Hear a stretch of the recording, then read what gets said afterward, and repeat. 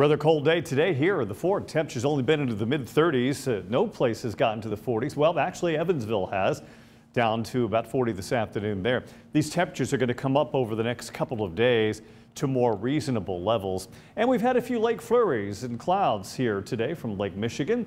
As we run through the evening, still some cloud cover. It eventually uh, dissipates and moves off to the south and to the east. Then we see clear skies during the overnight hours.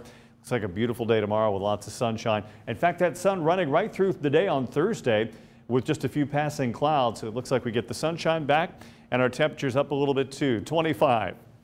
Tonight, partly cloudy skies with a west wind at 10 to 15. Tomorrow looks good, mostly sunny, not quite as cold with uh, temperatures near normal for this time of the year, around 43 with a west wind at 5 to 10. Could these temperatures go higher? I'll talk about that coming up tonight on Fort Wayne's NBC.